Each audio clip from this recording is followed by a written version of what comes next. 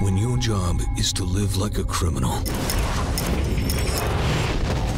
Riot this evening at Ellsworth Penitentiary led to the escape of inmate Sam Fisher. The thin line between innocence and He guilt must be considered armed and extremely dangerous. disappears.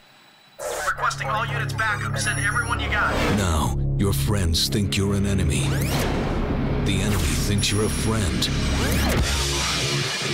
They're both right.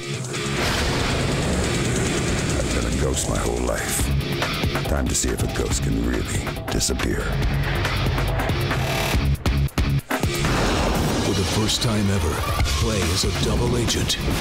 Once you're on the inside, how far will you go to finish your mission? What are you doing? Stay cool and you'll be fine.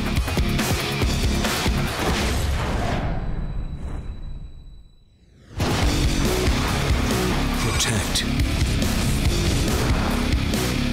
Betray. Sacrifice.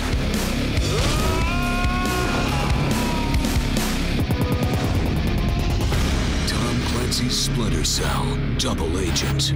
What side are you fighting for?